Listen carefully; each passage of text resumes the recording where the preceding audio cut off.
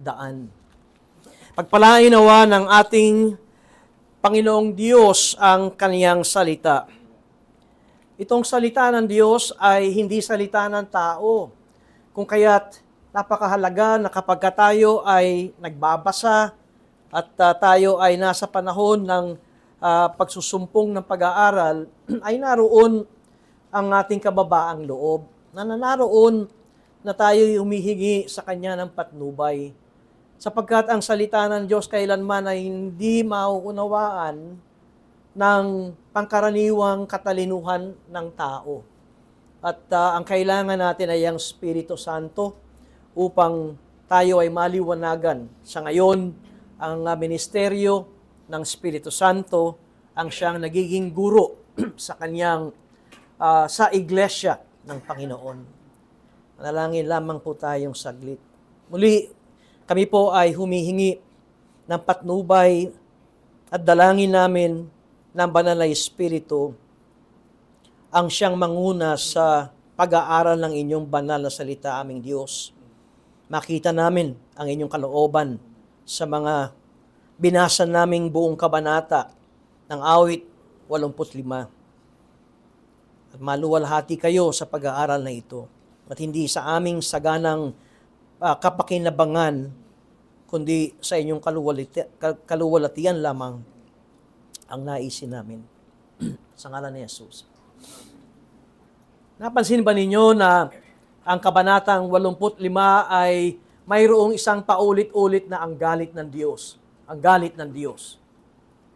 At uh, meron pa nga na hindi lamang nabanggit ang galit ng Diyos, kundi nandun yung bangis na galit ng Diyos. Magalit na ang Diyos ay eh, talagang mabigat na yun. Pero yung bangis ng galit ng Diyos, ay palagay ko ay walang makakatayo na sino mang kanyang nilikha. Ito ba ang nasa isipan natin na ang Diyos ay nagagalit? Kadalasan kasi, ang lagi nasa isipan ng mga tao, hindi marunong magalit ang Diyos. Dahil ang Diyos ay pag-ibig. Ang Diyos ay maunawain. Ang Diyos ay marunong uh, magpigil. Nandun yung kanyang pasensya. At ang Diyos ay naroon ng kanyang uh, pagiging maamo. Ito ang mga katangian ng Diyos, oo, na makikita natin sa Biblia. Ngunit ang isang bagay na marahil kung bakit hindi binibigyan ng pagpapahalaga ng mga tao ang Diyos, o kaya dahil marahil wala tayong tinatawag na banal na takot sa Diyos, ay dahil ito lamang ang ating narinig ang Diyos ay pag-ibig, ang Diyos ay mabuti, ang Diyos ay maunawain, ang Diyos ay maamo, ang Diyos ay mapagbigay. Pero ang galit ng Diyos, wala yan sa Diyos.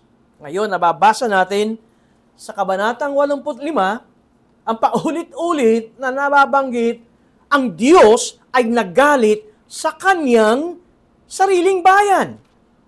Kanina sa ating scripture reading, sa aklat ni Amos, ay hindi lamang sa Israel na mayroong ibinigay na propesiya si Amos.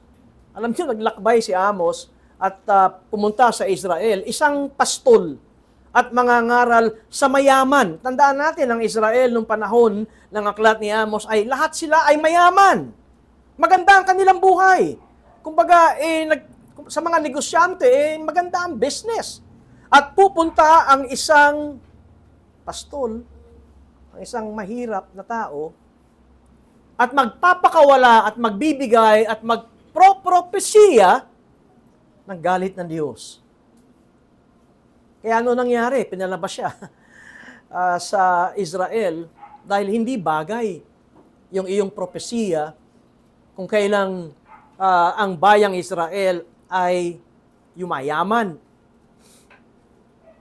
Kumisan ito yung panganib, no? Kapag ka dumadalangin tayo, Lord, payamanin mo naman ako. Buksan mo naman ang iyong kalangitan at ibuhos mong maraming pera sa akin. At nung dumating yung pera, nasan ka na? Pera na ang sinamba mo, pera na hinahabol mo. Pagising mo sa umaga sa pagtulog, paano yung pera? Dito, sa aklat ng awit 85, ay hindi sila mayaman. Wala silang pera. Pero dati silang mayaman. Matandaan natin, nanganghari nila ay si David, sila ang kinikilalang makapangyarihang bansa nung kapanahon yon. Walang gustong makipagdigma sa Israel dahil ang lahat ng dinidigma ng Israel sa paghahari ni David ay natatalo. Kaya natakot ang mga karatig bayan sa Israel dahil ang kanilang haring si David ay iniisip nilang eksperto pagdating sa digmaan. Military strategist. Ngunit ang lahat ng iyon ay dahil sa pagpapala ng Diyos. At nang si David ay kinuha na ng Panginoon ng kanyang anak ang sumunod na naghari, si Solomon. At sinasabi sa Biblia, nung si Solomon ay naghari, ginawa niyang pangkaraniwan ang ginto at pilak. Alam niyo ibig sabihin nun? Naging mayaman sila. Nung una kay David, sila yung maaring masabi the most powerful nation. Pagdating kay Solomon, sila yung first world na ating sinasabi ngayon na sila yung mayaman. At totoo namang sila yung mayaman, unay gawin mong pangkaraniwan ng ginto at pilak at ang mga karatig bansa ay talagang nagsasabi na mayaman ang bansang ito. Tandaan niyo yung si Reynang Sheba. Gusto ko talaga makita ang sabi ni Queen of Sheba na talagang totoo yung mga narinig ko. Kaya pumunta siya at nang siya'y pumunta, ay doon niya sinabing totoo nga. Na hindi lamang mayaman ang bansang ito, mayroong talino at karunungan ng haring si Solomon. Dito sa awit 85, kadalasan, di ba, kapag ating uh, binibigyan ng pag-aaral ito, ay tayo ay uh, humihingi ng gabay doon sa tinatawag nating superscription o kaya yung nakalagay sa ilalim ng kabanata, uh, kailan ito sinulat, anong petsa ito, ito ay walang ganito.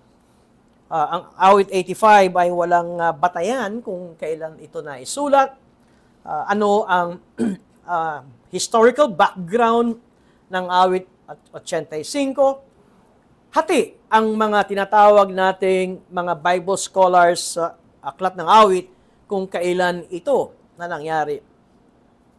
Ngunit ang aking uh, sasandalan ay ito ang panahon nang sila ay bumalik sa kanilang bayang Jerusalem. Anong ibig kong sabihin? Ito ang panahon na pitumpong taon na sila ay bihag ng Babylonia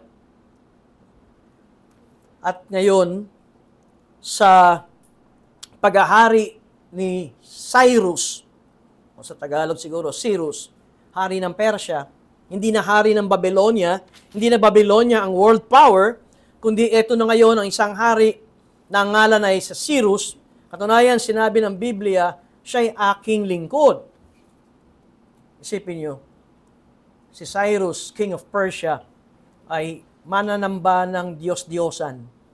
O, hindi ito uh, hindi ito hari na may takot sa Diyos.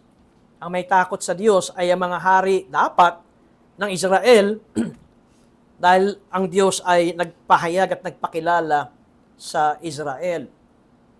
Ngunit tinawag na Diyos na itong Persian king ay kanyang shepherd. Alam niyo ang ibig sabihin nito? kahit sinong hari ang ilagay mo sa mundong ito.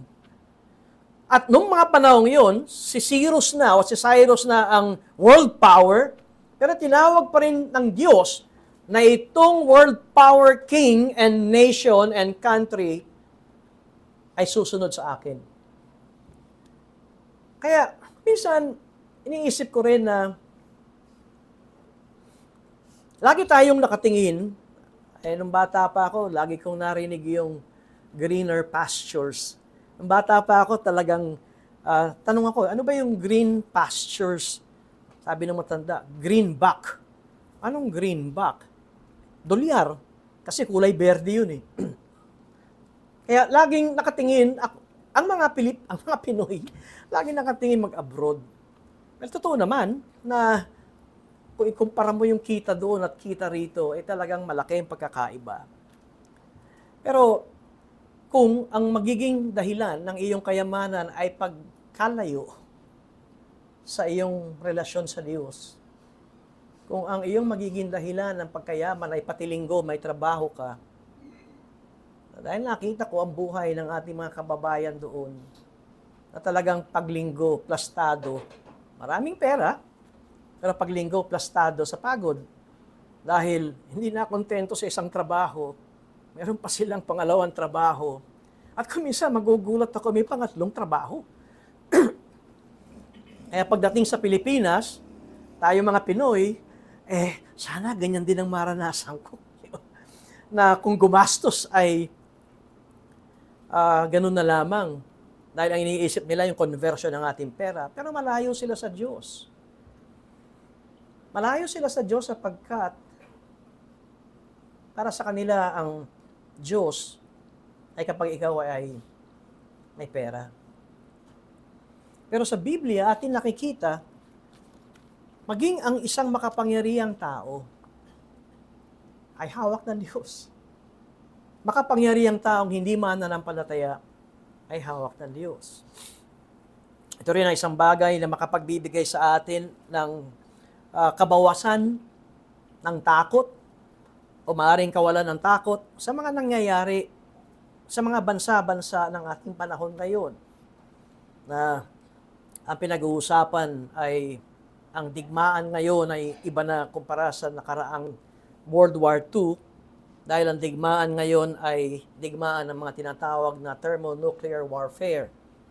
Isang, isang uh, ballistic missile na nuclear ay ubos ang Luzon, ubos ang Visayas. At uh, kung yung pinagbabanggaan sa YouTube ngayon ay yung ating kapitbahay na bansa. Alam niyo ba kung ilang minuto lang yun pag yun nagpakawala ng ballistic missile? 8 to 12 minutes, wala na tayo. Walang kaalam-alam ang tao. Maring nasa mall. Sabi ko nga, sana kapag nangyari yan, at kung mangyari yan, araw ng Panginoon, sumasampa kami. ang gandang exit nun. Ang gandang exit nun tayo ay uh, kukunin ng Panginoon na tayo sumasamba. Kaysa yung tayo kinuha ng Panginoon gumagawa ng kasalanan. Di ba? Eh, mas masaya yung tayo sumasamba. Well, kung aking sasandalan, ng awit 85 ay ang pagbabalik ng Israel o ng mga Hudyo o ng mga Israelita sa uh, Jerusalem, meron silang pagsasariwa ng ginawa ng Diyos sa kanila noong nakaraan. Panginoon, sabi sa verse 1, ikaw ay maging, ikaw ay naging mabuti sa iyong lupain. Dito lamang ay makita natin na ang kanilang sinasabi, naging mabuti ka sa amin dati. Ibinalik mo ang kayamanan ng Hakob. Pinatawad mo ang kasamaan ng iyong bayan. Pinatawad mo ang lahat nilang kasalanan. Inalis mo ang lahat ng puot mo. Tumalikod ka sa bangis na galit mo. Kung mayroon sigurong mararanasan ang bansang Israel ng bangis ng galit ay nung sila ay naging alipin ng pitungpung taon. Alam niyo yun? Na namatay ka na at pagkatapos ay yung anak mo ay nakakaranas pa rin na sila ay mga bilanggo ng dayuhang bansang Babylonia at uh, ngayon ang makakaranas ng pagbabalik nila sa bayang Jerusalem ay ang mga apo mo na at uh, ito ang uh, ipinapahayag. Isang bagay na alam natin na ito ay awit ni Cora o awit ng mga anak ni Cora, Cora Heights. Uh, ito yung mga uh, mga lahi na ang kanilang tungkulin o ang kanilang gawain ay sa templo. Ngayon, sa Babylonia, wala ang templo. Walang katulad ng ginagawa nila dati na mahalaga sa kanila ang templo. Natandaan ninyo noong nakaraang linggo, nung tinalakay natin ang awit 84. Kaya nga mainam na kapag binabasa natin ang awit, ay hindi ito dugtong-dugtong na oras at panahon. Last week, ang Psalm 84 ay ang mga manlalakbay patungo sa templo ng Jerusalem. Na kahit na may panganib, nandun yung galak nila na pumunta sa Jerusalem upang sumamba. Matandaan ninyo ang isang awit o ang isang talata sa awit na kontento na siya na maging doorkeeper. Ito yung sinasabi ng awit 84 na para sa kanya, ang isang araw sa iyong mga bulwagan ay mabuti kay isang libong saan man. Kaya nga, pag nagkaroon tayo ng application dito, do you look forward, mga kapatid, magalak ba kayo na uh, sinasabi niyong, araw na naman ng Panginoon, malapit na naman ang araw ng Panginoon, ako'y pupunta na naman sa panambahan, makakasama ko ang mga anak ng Diyos, o ganito ang tono mo, samba na naman, pahinga na lang ako, Meron namang FB, oh.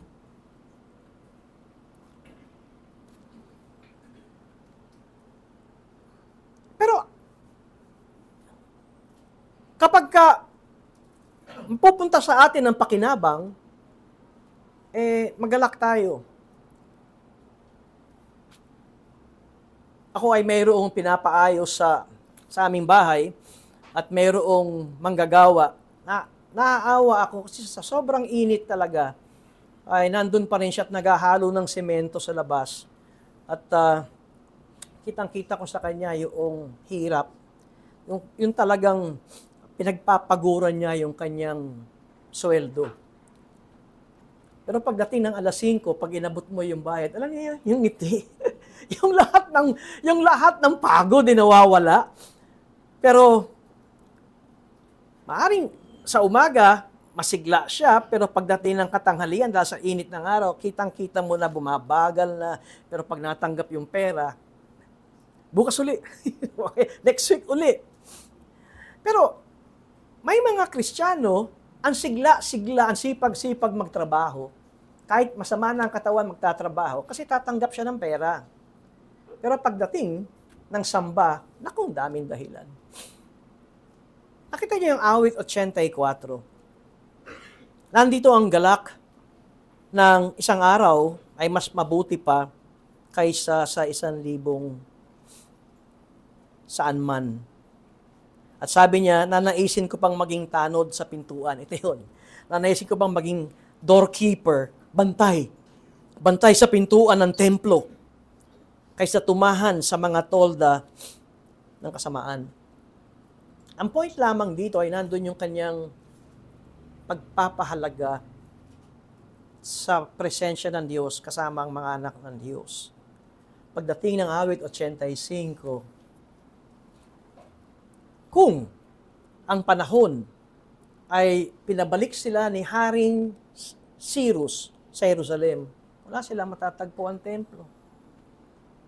Dahil ito'y winasak ng kanilang mga kaaway. Winasak ang bakod, kaya yun ang inayos ni Nehemiah. Pero bago yun, ay wasak ang kanilang templo. Kaya si Ezra ang siyang nagtuturo sa mga Israelita. Yun ang kanilang pag-asa, ang templo. At ngayon, pagbalik nila, ay wasak. Alam nila kung anong ibig sabihin ng bangis ng galit ng Diyos. At ang bangis ng galit ng Diyos ay pitungpong taon na silang walang kalayaan. Pitumpong taon na hindi nila magawa ang nagagawa nila dati nang sila'y nasa Israel o na sila'y nasa Jerusalem. Pitumpong, pitumpong taon na wala silang pangalan, na hindi sila ginagalang, hindi sila kinakatakutan. Sila ay mga bilanggo. Sila ay nasa ilalim ng makapangyarihang hari. Kaya, mapapansin natin, ang unang talata at bahagi dito ay ang pagsasariwa nila ng ginawa ng Diyos sa kanila. At pagkatapos, nandun na ang daing.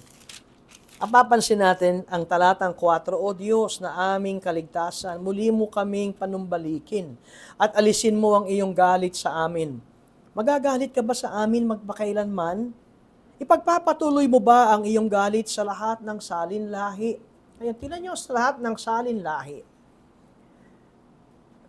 Hindi lamang sa kanilang mga ninuno, kundi nagtutuloy-tuloy ba ang galit ng Diyos? 70 years, 70 taon, wala silang nasaksihan at naranasan na pagliligtas sa kanila o pagbabalik sa Jerusalem. At ngayon, sila ay binalik sa Jerusalem at nakita nila ang itsura. Sa verse 6, hindi ba kami ay muling bubuhayin mo upang ang iyong bayan ay magalak sa iyo? Patay, walang kagalakan ang bayang ito.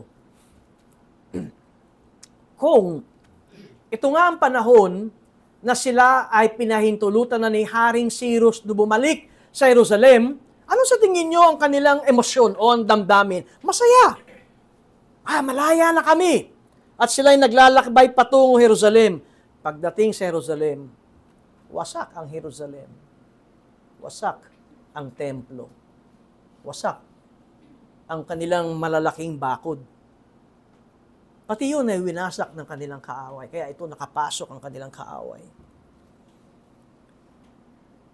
At sa talatang 7, O Panginoon, ipakita mo sa amin ang iyong tapat na pagsuyo at ipagkaloob mo sa amin ang pagliligtas mo.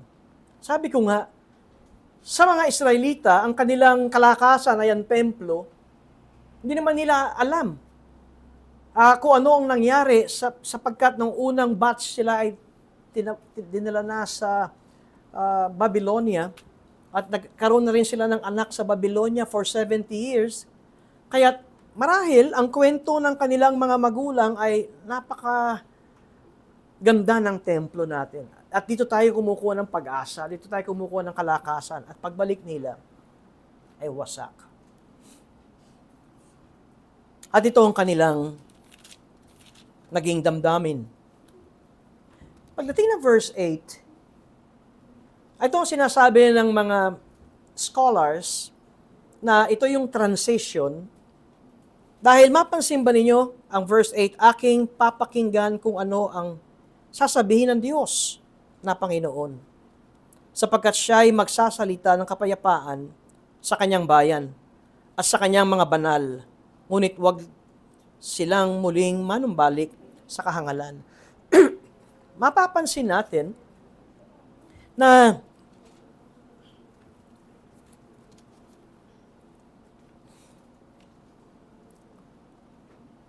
naroon na nagbago ang tema dahil ang una ay naroong inalis mo ang at uh, ikaw ay wag tanggalin mo ang iyong galit sa amin. Laging sa amin. Pagdating ng verse 8, aking papakinggan. Kaya mapapansin nyo na mayroong congregational, mayroong pulutong ng mga Israelita, at biglang mayroong isa na nagsasalitang aking papakinggan kung ano sasabihin ng Diyos na Panginoon. Kaya marahil naroon ang kanilang dalangin, naroon ang kanilang uh, pagtangis, dahil ang kanilang nakita ay kaiba-iba at biglang may nagsalita, marahil ang taong ito ay ang kanilang pare o marahil isang uh, propeta na siya ay lalapit sa Diyos at upang alamin at pakinggan kung ano ang sasabihin ng Diyos sa kanila. Ngunit ito ang kanyang sinabi sa verse 8, Aking papakinggan kung ano ang sasabihin ng Diyos sa Panginoon sapagkat siya ay magsasalita ng kapayapaan sa kanyang bayan at sa kanyang mga banal. Ngunit wag silang muling manumbalik sa kahangalan. Ang point nito ay, na matuto na kayo. Matuto na tayo. Na wag na tayong bumalik sa kahangalan. Hindi ko alam kung papaano nyo tignan ang inyong mga buhay habang tayo ay nasa mundong ito. Ang ibig kong sabihin, mayroong mga karanasan na tayo ay napakatayog, napakataas, napakamatagumpay, at marahil mayroong pagkakataon na tayo inilagpak ng Diyos, at pagkatapos ng pagkalagpak ay doon tayo nagising, at tayo ay dumadalangin, ibalik mo muli, Panginoon, sa akin ang kagalakan, Buhayin mo akong muli.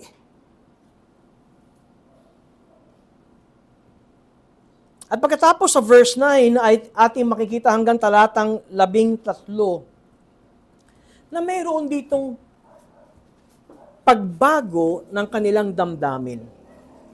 Napansin ba ninyo? Una, sinasariwa nila ang gawang nakaraan ng Diyos sa kanila at pagkatapos ay naroon ang kanilang pamamanhik at dalangin sa Diyos na uh, ibalik ng Diyos ang kaniyang kalinga at pagmamahal at sila ay muling buhayin ng Diyos. At pagkatapos sa talatang 9 ay nabago, tunay na ang kanyang pagliligtas ay malapit sa kanila na natatakot sa kanya upang ang kaluwalhatian ay manahan sa aming lupain. Nakita nyo na bago na naman. Sa verse 8 ay isang taong nagsasalita Pagdating ng verse 9 hanggang talatang 13, naroon na naman ang pulutong o nandun na naman ang kongregasyon o naroon na naman ang bayang Israel na nagsasalita. Tunay na ang kanyang verse 9, tunay na ang kanyang pagliligtas ay malapit sa kanila na natatakot sa kanya upang ang kaluwalhatian ay manahan sa aming lupain. Magsasalubong ang tapat na pag-ibig at katapatan, ang katuwiran at kapayapaan ay maghahalikan, dito ko kinuha ang pamagat ng aking sermon, bubukal sa lupa ang katotohanan at tumitingin mula sa langit ang katuwiran. Oo, ibibigay ng Panginoon kung ano ang mabuti. At ang ating lupain ay magbibigay ng kanyang ani. Mangunguna sa kanya ang katuwiran at ang kanyang mga yapak ay gagawing daan meron tayong isang makikita rito sa talatang ating binasa na mayroong pagpapahayag ng katangian ng Diyos kung sino ang Diyos. At ang tinutukoy ko rito katangian ng Diyos ay ang nabanggit sa talatang 10, tapat na pag-ibig at katapatan, katuwiran at kapayapaan. Itong bagay na ito na makikita natin ay ang pagpapakilala ng Diyos kay Moises. Matandaan natin na minsan dumating uh, sa hiling ni Moises, gusto kitang makita. Ipakita mo sa akin ang iyong kaluwalhatian. At ang sabi ng Diyos, walang sino man makakakita sa akin dahil ang tao, kapag ako'y nakita ng tao, siya ay mamamatay, siya ay matutupok. Bakit ganoon ang pagkasabi ng Diyos? Isipin mo na lamang, ang Diyos ang lumikha ng araw, eh walang sino mang tao ang maaring makalapit sa araw, matutupok, eh sino pa kaya yung manlilikha? Kaya't ang uh, ang punto niyan ay nagpakita ang Diyos kay Moises, pero ang ginamit dito ay ang nasa likuran, the back parts ng Diyos. Ngunit ang narinig ni Moises ay itong pagpapahayag kung sino ang Diyos. At ito ay uh, makikita natin sa aklat ng Exodo at naroon ay uh, ipinahayag ng Diyos kung sino siya. At ito yun. Ito yung uh, sinasabing siya ay pag-ibig, siya ay katapatan, nasa kanya ang katuwiran, at nasa kanya ang kapayapaan. Ang isang bagay na sinasabi kong bakit nabago ang tema ng pag-aaral nating ito ay dahil nang binanggit dito sa verse 10, magsasalubong ang tapat na pag-ibig at katapatan. Ang katuwiran at kapayapaan ay maghahalikan. Hindi nawawala sa mga nagsibalikan sa Jerusalem ang kanilang pagkakilala sa Diyos. Dahil sa matandang tipan, naging maliwanag sa kanila na ang Diyos ni Abraham, ang Diyos ni Isaac, ang Diyos ni Jacob ay Diyos na nagbibigay ng tipan. Ang ibig sabihin, hindi siya katulad ng ibang tao na madaling makalimot. Kahit na ilang beses siyang nangangako at yung kabiruan ng mga bata, Pexman cross my heart, eh, pag narinig mo yan ng bata, eh, tumatahimik na yung isang bata dahil oh, nagsasabi nga ng totoo yan. Ang iba naman ay sumusumpa sila sa libingan ng kanilang nanay, eh, yan ay totoo. Pero ang Diyos ay, kung siya ay nagbigay ng pangako at panunumpa. Wala siyang mas mataas pa na gagamitin para siya ay manumpa at saksi yung nakakataas sa kanya. Siya ay sumumpa para sa kanyang sarili. Nakita ito ng mga Israelita na may pangako ang Diyos, na mayroong tipan ang Diyos. At kapag ang Diyos ay nangako, hindi ito mawawala. Ano man ang mangyari. Kaya nakaranas sila ng mabangis na galit ng Diyos, at talagang sila'y uh, pinagdaan ng pitumpong taon ng pagdurusa. Kung ito nga ang panahon na tinutukoy ng awit 85, ngunit ang dahilan kung bakit sila nagpapatuloy kahit hirap na hirap na, sa, na sila sa kanilang buhay ay ang tipan ng Diyos sa kanila. At ano ang pagpapahayag ng Diyos sa kanila? Na ang Diyos ay tapat na pag-ibig, na ang Diyos ay katapatan, na ang Diyos ay katuwiran, na ang Diyos ay kapayapaan, at ito'y maghahalikan. Anong ibig sabing maghahalikan? Sa verse 11, nandoon ang pagpapaliwanag, bubukal sa lupa ang katotohanan at tumitingin mula sa langit ang katuwiran. Ang ipinapakita ritong magkakaroon ng paghahalikan ay magsasama ang langit at ang lupa sa paghahari ng Diyos. Ang ibig sabihin, ang kaharian ng Diyos ay mararanasan sa lupa. Meron tayong idinadalangin o karamihan ng mga tao ay alam ang dalangin ito, yung ama namin, in the Lord's Prayer. At merong isang talata sa the Lord's Prayer na nasa Mateo Kapitulo 6 nang tinuruan ng Panginoong Kristo ang kanyang mga alagad kung paano manalangin. At ito ang sinabi ng Panginoon sa kanyang mga alagad, Mateo 6, talatang 10. Dumating nawa ang kaharian mo, masunod nawa ang kalooban mo kung paano sa langit, gayon din naman sa lupa. Ito ang dalangin itinuro ni Heso Kristo sa kanyang mga alagad. Dumating nawa ang kaharian mo. Masunod nawa ang kalooban mo kung paanong sa langit, gayon din naman sa lupa. Sa Old Testament,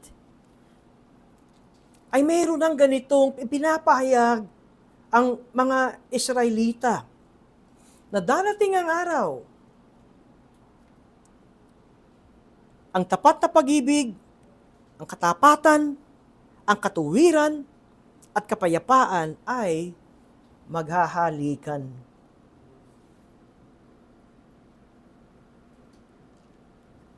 Ang ibig bang sabihin ay hindi nakaranas ang bayang Israel nang sila'y bumalik sa Jerusalem ng pagpapalang muli? Nakaranas.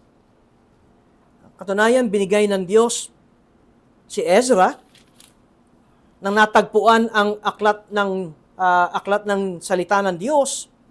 At pagkatapos ay binigay ng Diyos sa Nehemiah para maisaayos ang kanilang bakod. At nagsimula na naman na magkaroon sila ng templo sa panahon ni Zerubbabel at nanumbalik na naman ang kanilang temple worship. Kaya sila ay nakakaranas ng pagpapala ng Diyos. Katunayan, ang isipan ng mga Israelita ay pagpapala sa mundo. Alam niyo kung bakit uh, ganito ang kanilang uh, sinasabi, pagpapala sa mundo. Dahil matapos nilang sabihin sa verse 10, magsasalubong ang tapat na pag-ibig at katapatan, ang katuwiran at kapayapaan ay maghahalikan, bubukal sa lupa ang katotohanan at tumitingin mula sa langit ang katuwiran, oo, tinan nyo sa verse 12, ibibigay ng Panginoon kung ano ang mabuti at ang ating lupain ay magbibigay ng kanyang ani.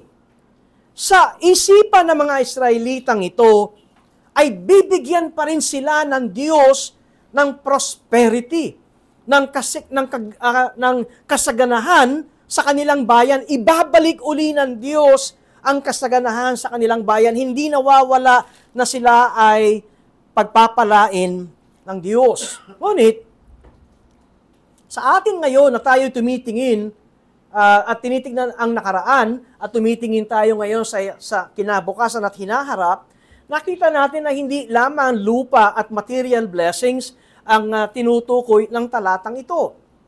Totoo, na ang Diyos ay maaring magbigay ng material na pagpapala sa mga taong namumuhay ayon sa kanyang kalooban. Pero hindi natin pwedeng sabihin na ito ay para sa lahat ng Kristiyano. Kaya kapag ginawa natin itong para sa lahat ng Kristiyano, ito yung pinangangaral ng mga charismatic at ng mga Pentecostal na sila ay uh, magiging mayaman kapag sila ay susunod sa Panginoon. At sa charismatic at Pentecostal lang isang paraan para ikaw ay yumaman, dapat ikaw ay magbigay ng ikapu. Kaya malaking pera ang charismatic church dahil ang daming naghahangad na yumaman at ang tanging paraan para ikaw yumaman, 10% ay kapalit ng hundredfold. Ito ang mga preaching namin noong araw. Kumbaga, sa isang butil ng mais, pag iyong itinanim, yun yung iyong ikapu. Pag ito'y namunga, ilang mais ang iyong aanihin. At biglang in-apply sa pera, kaya yung isang libo mo ay isang milyon ang kapalit. Totoo na mayroong material blessings ang Israel, ang mga Israelita, kung sila ay susunod. Ngunit sa atin, naunawa natin na itong imagery na ito ay patungkol sa darating pang panahon. Mga ilang panahon pa na mararanasan natin ito.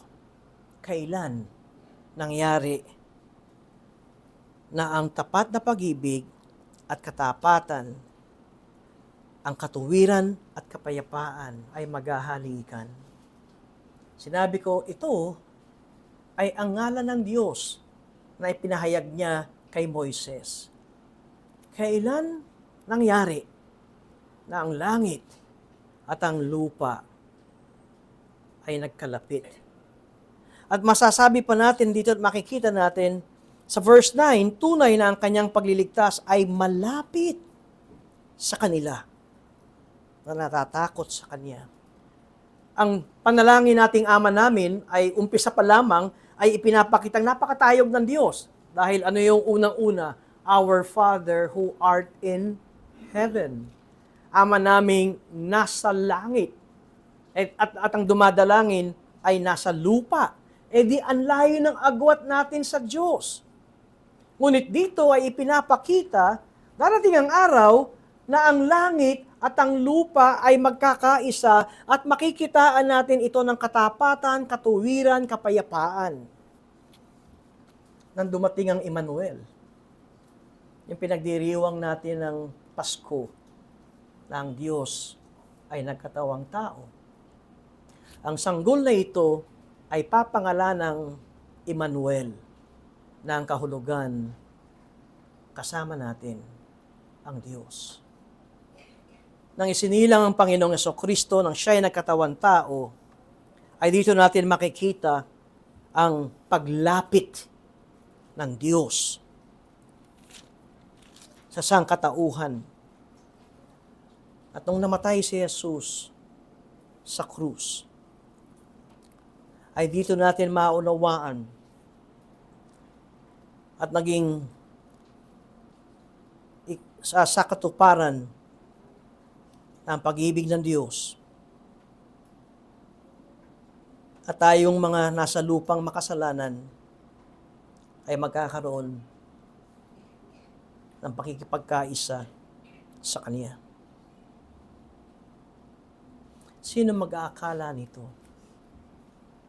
Na ang banal na Diyos, na ang Diyos na kailanman ay hindi makikita ng tao. Na narinig ni Moises sa Exodo, Kapitulo 33 at Kapitulo 34 ng kanyang ipinahayag ng sinasabi ni Moises, Show me your glory. At dito sa awit 85 talatang 7, O Panginoon, ipakita mo sa amin ang iyong tapat na pagsuyo. Sa Exodo 33, talatang 19, itong sinabi ng Diyos, I will proclaim my name, the Lord, in your presence. At ito rin ay katulad ng awit 85 talatang 12, Oo, ibibigay ng Panginoon kung anong mabuti. At ang ating lupain ay magbibigay ng kanyang ani.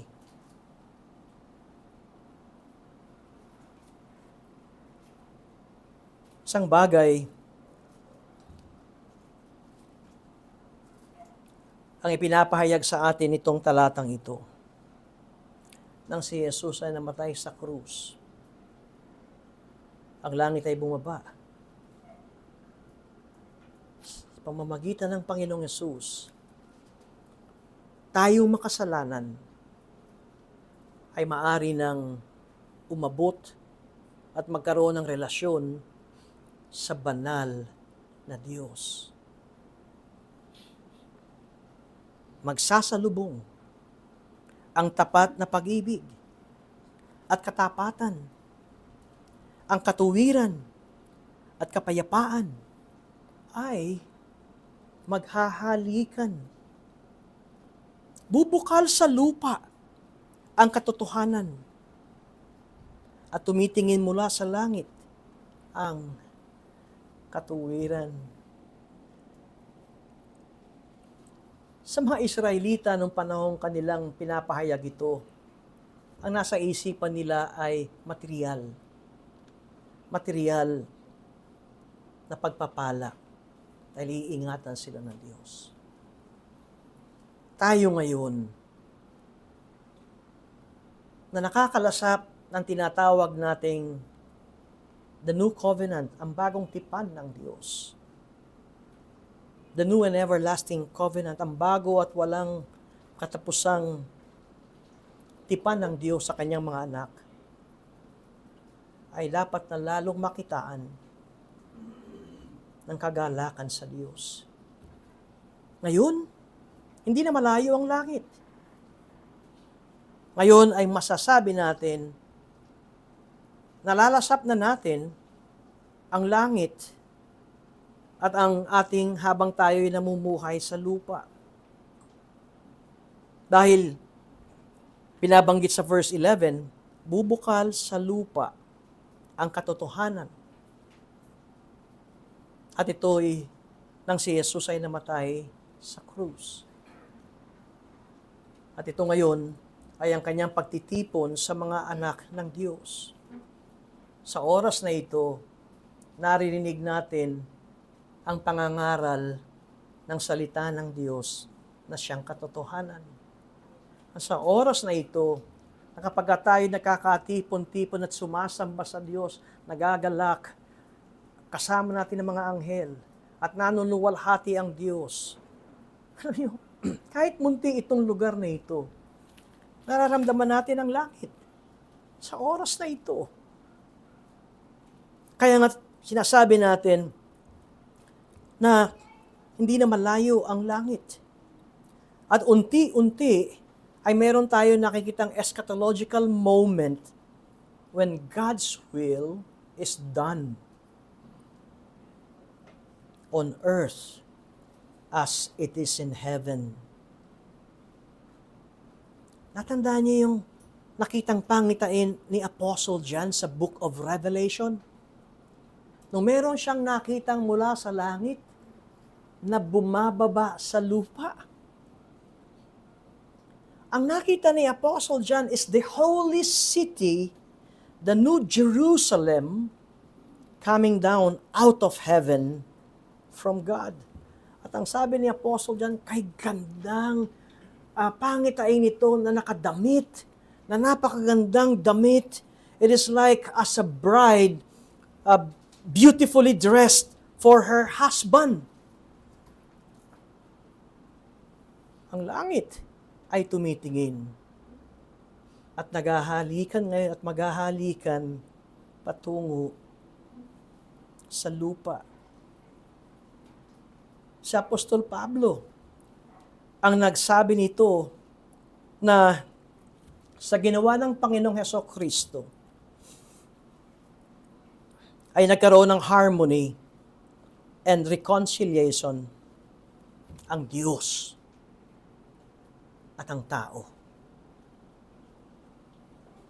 Sa Colossians chapter 1 verses 19 to 20, tingnan natin ang description ni Apostle Paul of Christ's reconciling work.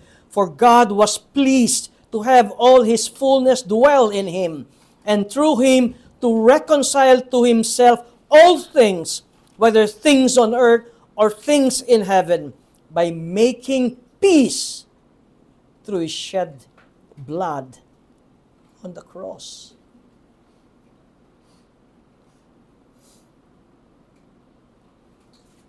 Ito ang meron pagpapalang isang anak ng Diyos. Ito ang meron pagpapala ang isang makasalanan na namulat ang kanyang pagiging makasalanan at nakita ang pag-ibig at kaluwalhatian ng Diyos sa pamamagitan ni Yeso Kristo at tanging si Jesus lamang ang makapagliligtas sa atin. Ito ang pinakadakilang kagalakan. May isang mangaral na sinabing, bakit pa rin kayo nalulungkot? Di ba kung minsan, bakit pa kayo nagugulumihanan hanggang sa ngayon? Totoo, sa mundong ito, ay hindi tayo makakatakas sa problema. Pero bakit kayo nadidepressed? Kung naunawaan ninyo kung ano ang mayroon kayo.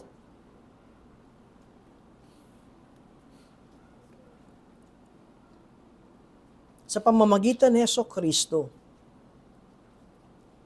meron tayong kapayapaan. Nasa mundo tayo ng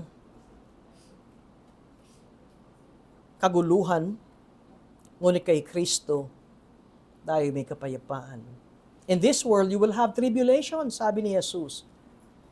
Pero sa akin, ay meron kayong kapayapaan. Dahil iba ang kapayapaan ng Panginoong Jesus. Ito yung sinasabi ni Apostle Paul, kapayapaang hindi kayang arukin ng aking isipan. The peace that transcended everything.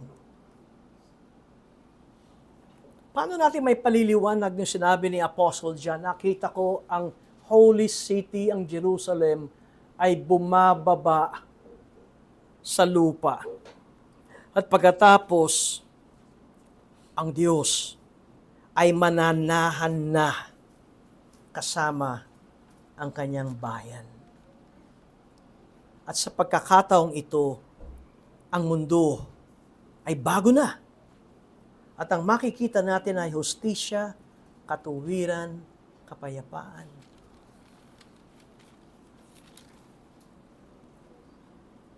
Marahil kapag ka nakikita natin, paano ba ang paghahari ng Diyos?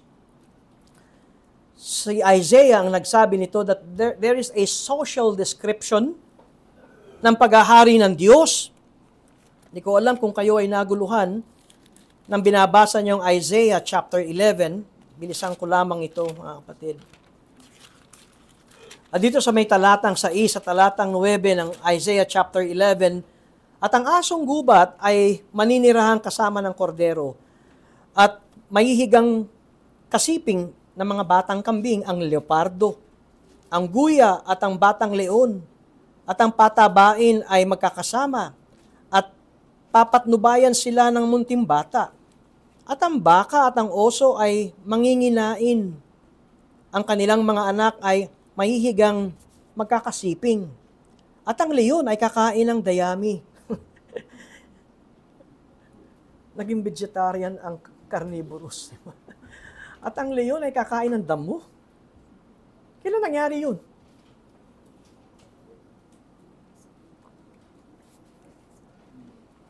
Gaya ng baka.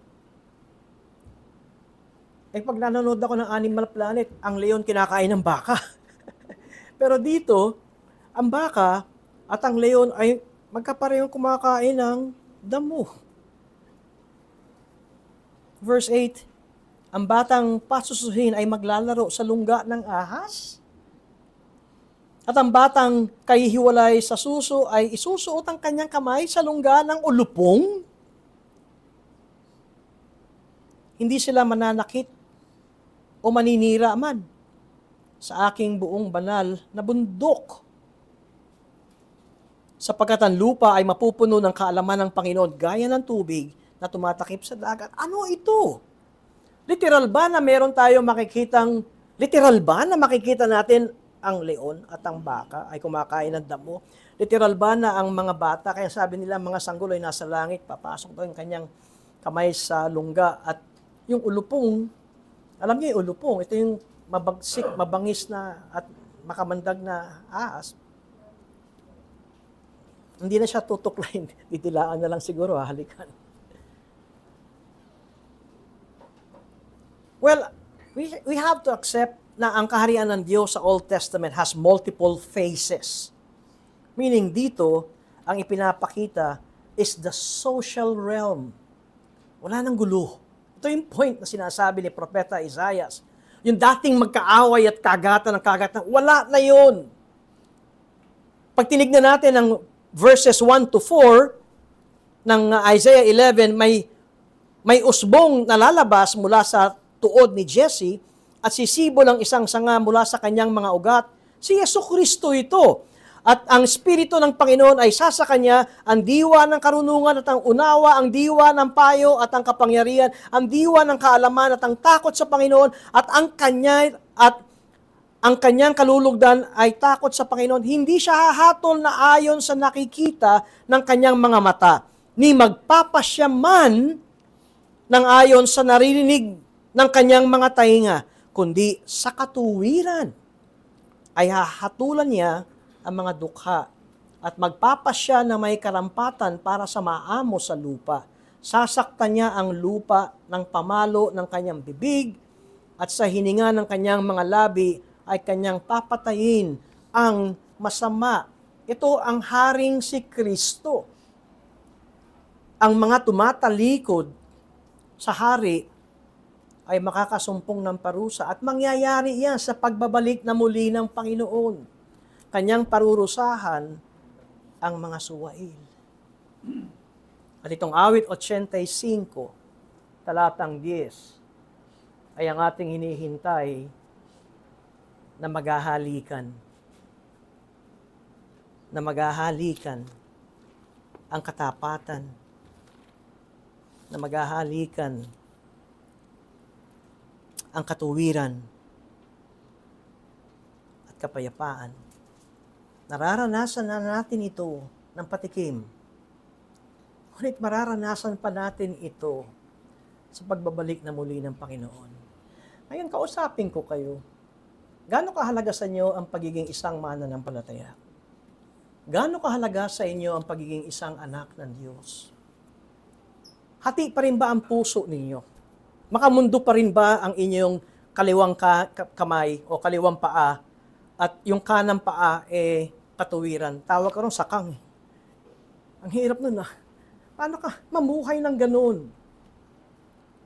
Hanggang ngayon pa ba yung ating puso ay mas makiling sa mga bagay na makamundo? Natuto na tayo dapat. Ilang beses na ba tayong tinuwid ng Diyos sa ating kahangalan? Dito ang sinabi sa kanilang foolishness. Pero nakakalungkot. 70 years, hindi pa rin natuto ang bayang Israel. Pitumpung taon na nga silang naging bihag sa ibang bansa. Hindi pa rin sila natuto. Tayo ay nasa ilalim ng bagong tipan. Hindi na mawawala ang pag-ibig ng Diyos sa atin. Huwag natin abusuhin. Kuminsan, dahil masyado tayong nagsasabing ang Diyos ay punong-puno ng biyaya dapat ang maging bunga nito ay nag-uumapaw ng pasasalamat at pagpapakumbaba sa Diyos. Hindi yabang. Ang biyaya ng Diyos ay nagtuturo sa atin ng paglilingkod. Paglilingkod. Hindi pagiging mataas ako. Hindi yung panlalait sa kapwa. Katunayan, tayong naliliwanagan sa biyaya ay dapat mas lalong maliwanag ang pagkakilala natin sa mga tao. Kaya magagawa nating ibigin at patawarin ang ating mga kaaway. Kaya nga, ano sinabi ni Jesus kapag kayo inuusig? Pray for them. Hindi, dapat kakaliwain ko yun. inuusig ako, gagantihan ko. Pray for them. Mapalad kayo kapag kayo nilalait. Bakit nasasabi ito ng Panginoong Yesus? Dahil ito ang biyaya ng Diyos. Sino ang pinakadakila sa lahat ang sabi ng Panginoon? Hindi yung bossing, hindi yung mayaman, hindi yung makapangyarihan, hindi yung marunong. Pinakadakila ay ang pinakamababa. The servant of all. Kaya tanungin natin ang ating sarili. Na, naintindihan natin itong bagay na ito. Na tayo ay biniyayaan ng Diyos. Na tayo ay miligtas ng Diyos. Na ngayon ay naunawaan natin, hindi na mawawala ang ating kaligtasan. Salamat sa Diyos. Ngunit papaano tayo tumugon dito sa bagay na ito. Hindi natin dinadagdagan ang kaligtasan. Ang kaligtasan ay gawa ng Diyos. Ngunit ang bunga ng sinasabi nating ako'y naligtas sa biyaya ng Diyos. At panghuli, gusto kong i-quote si Martin Luther sa kanyang Here I Stand. Na palagay ko na unawaan ni Martin Luther yung konsepto ng righteousness ni Pablo sa kanyang pamphlet na The Freedom of Christian. Ito ang sinabi, The Freedom of a Christian. Ito ang sinabi ni Martin Luther. And I'll quote. Ito'y patungkol sa forgiveness. This is wonderful news to believe that salvation lies outside ourselves. O, dito nakuha yung alien righteousness. Ang katuwiran natin ay hindi sa atin. That salvation lies outside ourselves. I am justified and acceptable to God. Although there are in me sin, unrighteousness, and horror of death, yet I must look elsewhere and see no sin. This is wonderful. Not to see what I see, not to feel what I feel.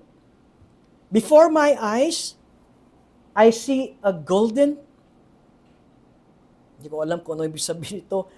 Marahil ito ay a death or judgment, or a sword, or a fire. And I must say, there is no golden, no sword, no fire, the forgiveness of sins is like this. That is, it is as if we had no sin. As if we have not sinned at all. God has removed our sin from us as far as the east is from the west. Hindi ko alam kung naunawaan ng Korahites nang sinabi nila sa uh, Psalm 85 verse 2, Pinatawad mo ang kasamaan ng iyong bayan. Pinatawad mo ang lahat nilang kasalanan. Inalis mo ang lahat ng puot mo. Tumalikod ka sa bangis ng galit. Nung tayo pinatawad ng Panginoon sa ating kasalanan, tatandaan niyo ito. Nung tayo pinatawad ng Panginoon sa ating mga kasalanan, hindi lamang tayo pinatawad, kundi ito ay kinalimutan ng Panginoon.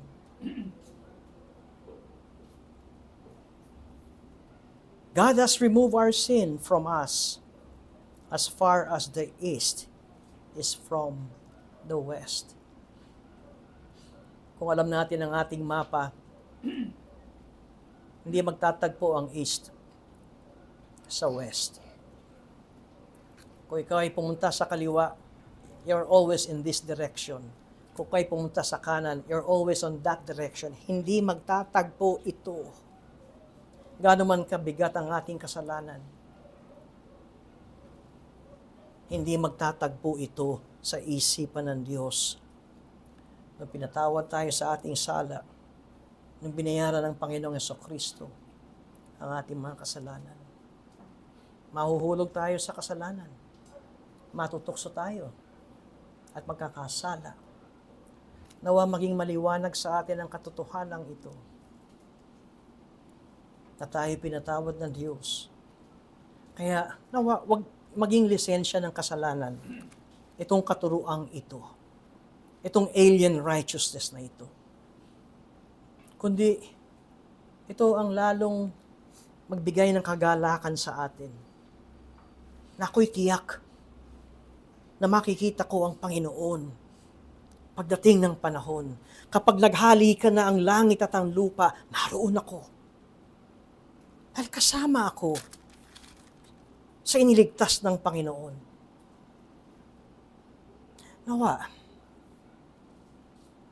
bawas-bawasan natin yung ating pagiging judgmental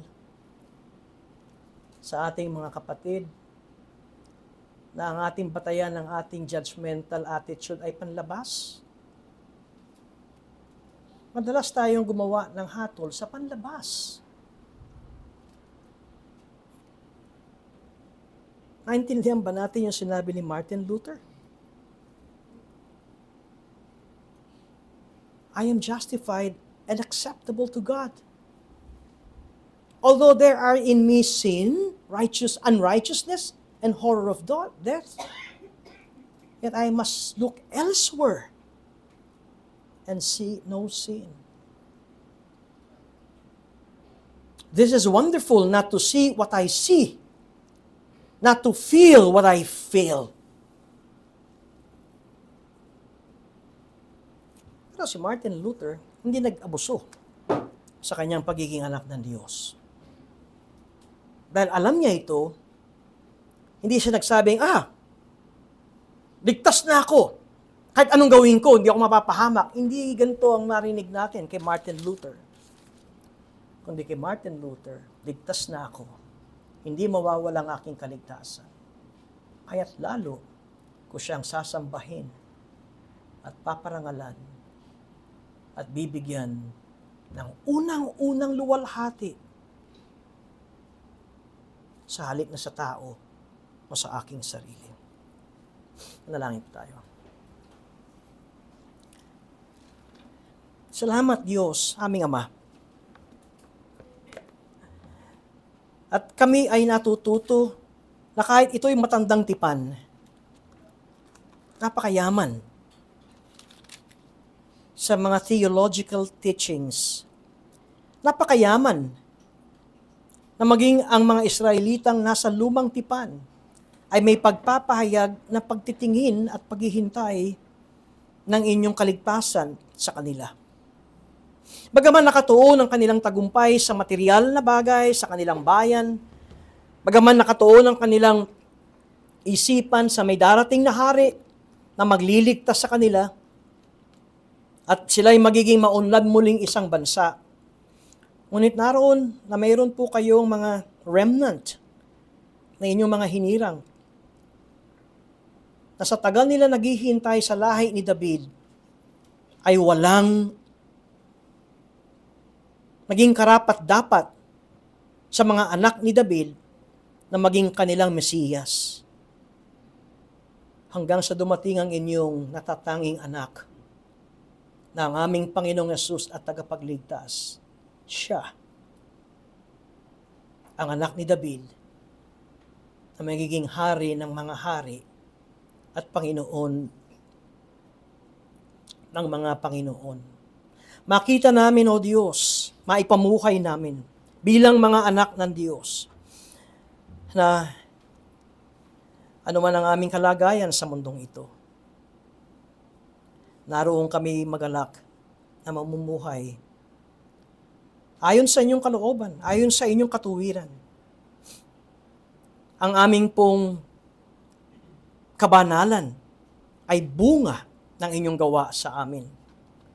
Kaya't magalak na kami ay mamumuhay ng ayon sa inyong kalooban.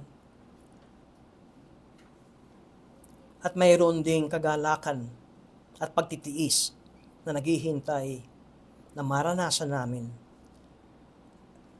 ang kabuuan ng ang langit at ang lupa ay maghahalikan sa ngalan ni Jesus. Amen.